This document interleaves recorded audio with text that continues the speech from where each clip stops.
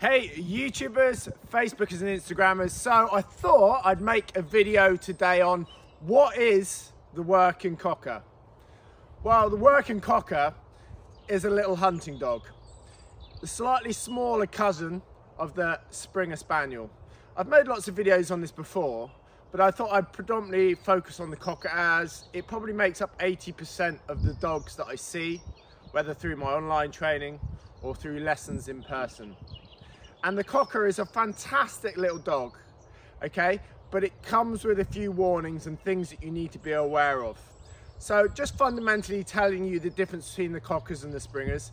They're both pretty much designed to do the same job, which is to hunt, find game, flush it, and then hopefully retrieve it. The fundamental difference between the Cockers and the Springers is there's a bit of a saying, which is Springers hunt really well to find scent, meaning that they hunt pretty well consistently to find game, okay? The cockers, there's a traditional saying which is cockers hunt well on scent.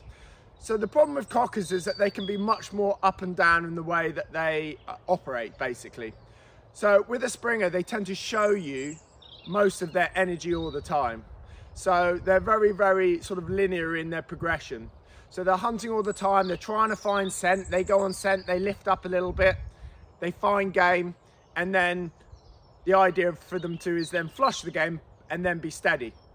The cockers, they can be quite flat if they're not on good scent. And so they can suddenly speed up when they hit a patch of scent. And this makes them a little bit more volatile in their behavior. That is what tends to catch people out an awful lot. I think the popularity of cockers has come from the fact that they're a bit smaller. Uh, they certainly don't leave white hair everywhere like a Springer's a bit more prone to doing. And so I think that's where their popularity has come. They're also incredibly cute, sorry. They are very loyal, but only up to a point. I think if I spoke to most of my clients, they would always say how wonderful their dogs are in the house. And predominantly in a house, they don't cause too much problem. I would still bring them up quite restrictively in the early stages so that you don't uh, create behaviors that could be avoided. And that's what I work with a lot of my clients, especially online, at trying to develop the dog over time. I think the thing that catches people out an awful lot is that these dogs take time to train. What you get at six months, eight months, 18 months and two years, those stages change massively. So at eight or 10 months old, you can have a dog that essentially seems like an adult dog. And at that point, they haven't really sort of developed a lot of their natural instincts. And so you can sort of be tricked into thinking, oh, everything's okay. I get an awful lot of phone calls from clients, uh, messages on Instagram, on Facebook and YouTube, um, saying, you know, they've watched my videos, everything that I try and preach, they might have experienced, and now they've got a problem. And that's the thing that I'm trying to work with my clients along the line a lot of the time to try and prevent them later on. But the problem is, until you sort of experience some of the issues, it can be hard to believe that that little dog at six or eight, 10, 12 months that you've got that's sticking with you still could end up causing you problems. Admittedly, I am seeing a lot more dogs now due to the popularity of the breed where the instinct is being slightly reduced, but that normally comes with a double-edged sword, especially with the cocker. So I am seeing more and more cockers that are plodding about and, and pottering and not sort of hunting that hard but then that dagger in the side comes when they find something and they're gone. So the art with them is to really treat them like the dog that they've still been bred to do. Now the best way to that is if you're looking for any help is to work with a spaniel specialist or certainly a gun dog specialist. The domestic sector tend to not understand the breed enough and so don't help to put in place uh, the training stages to work through they're a great dog and they're very, very rewarding when you get it right, but it's also incredibly frustrating when it goes wrong or if you sort of go into it sort of naively. What you're really looking to do is work with the dog in and around you. So I think we get very quickly, we get them walking on the lead, we're going out for walks and they're generally quite well socialized and stuff. They often end up pulling like tanks on lead, which is quite normal. But the issue isn't really when they're on the lead, it's when you sort of give them that freedom. And as I said, as a very small puppy, when you first get them, you're having to be careful that you're not standing on them. They're that close to you all the time. But over time, they start to edge further and further away from you. And that might be as early as four months. It might be 14 months. it varies from dog to dog. But it is really, really important to develop your training with the breed that you buy. So if you go and buy a cockapoo or a Labrador or a Pointer or Doberman or whatever domestic breeds people are buying, you're not really going to uh, have the issues that you're going to specifically specifically get with a hunting dog. So as I've made videos on this before, so I don't want to go over it too much, but basically your dog's instinct, what it wants to do over time, and it doesn't necessarily happen straight away, is what your dog wants to do is hunt, find game, flush it, probably end up chasing it, and if it was allowed to sort of allow its natural instincts to go all the way to fruition, it would want to chase, catch, kill, and potentially even eat. Now our job as a gun dog trainer is to suppress and enhance certain parts of that element. Again, I've covered this before, but we really need to avoid the end result of the dog finding game. So often you're sort of out for nice walks and you're in the countryside and that all seems like the right thing to do. But one day your dog will find something and take a couple of steps on it. And you might call the dog back and it comes back and you think, hey, I'm not too bad at this. But then six months later, that couple of steps is a dog chasing game. And nine times out of 10, it starts finding things. Maybe it might be a Jenny Wren, it might be a blackbird, it might be a partridge or a pheasant or a hare or a rabbit. But that now means that that dog wants to be further and further away from you. Especially if it knows the walk that you're going on regularly, the dog starts galloping on a bit ahead. Now, if your dog regularly starts to now find something 50 yards away from you, that's where your dog then wants to be.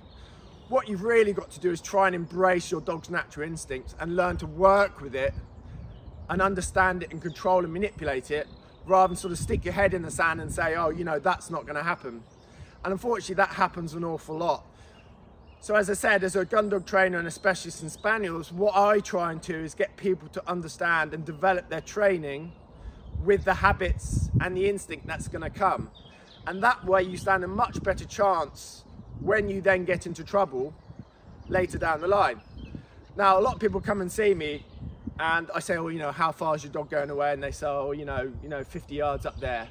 But really, you're wanting to keep that dog within about 14 to 16 feet of you all the time. And that means developing and learning how to understand to manipulate and control what your dog is going to want to do, which often it's just pottering around at first.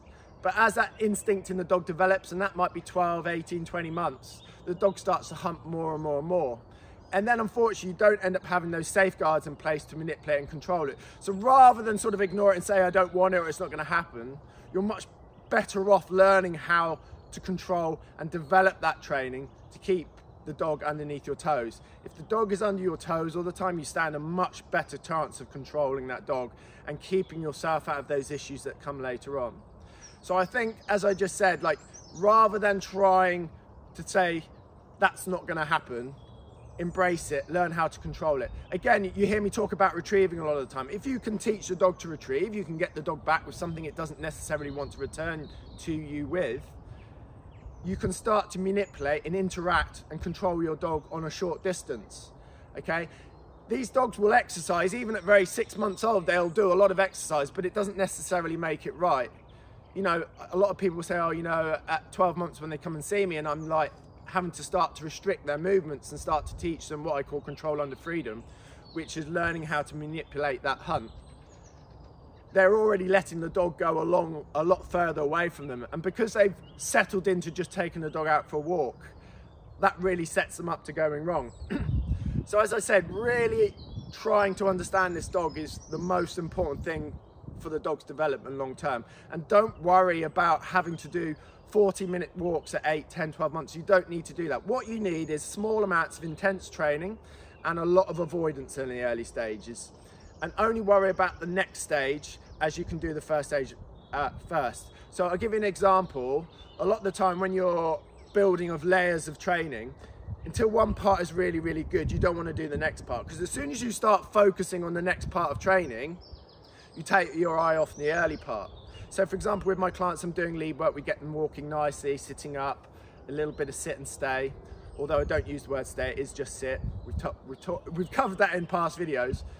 As soon as I start putting a retrieve into that or something else, they start taking their eye off the heel element. heel element, sorry. So it's really important to get each part really, really good where you don't have to overthink it and the dog understands what you want before you do the next layer. And as a novice, that is going to be quite slow.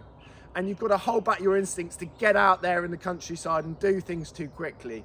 Work on it slowly. A lot of trainers don't even get their dogs out of their kennels till seven or eight months and start training them, okay? But they do each stage really well and they know what not to do and what to do. Anyway, I hope this helps a little bit. There's so many different parts that I can cover. If you're looking for some help or you're thinking about buying a, puppy this spring, summer, and you're looking for some help, go through to my Facebook page, Spaniel, uh, Hampshire Spaniel Training, where you can send me a message and I can potentially help you with structuring your training uh, and guiding you through that process, which makes up the majority of my work, working with people from eight weeks onwards. Um, it's not a sales tactic, but the reality is with these type of dogs, you want to look for a specialist that's going to work with you. And if you go to the domestic sector, they're not generally set up and experienced with dealing with hunting dogs. Okay, so that is something that you, you really do want to sort of bear in mind. Embrace the dog as it is, learn to manage it and control it, and use that instinct to your advantage and not ignore it and hope that it doesn't happen because that is when it's dangerous. I'd be interested to hear of any of people's experiences with their hunting and any experience with training. Perhaps drop that in the description below. Drop down and give me a comment. I'd be really keen to hear your experiences of that. And as I said, if you're looking for any training, uh, online training support, go through to my Facebook page, Hampshire Spaniel Training, and I'll do my best to help you guys.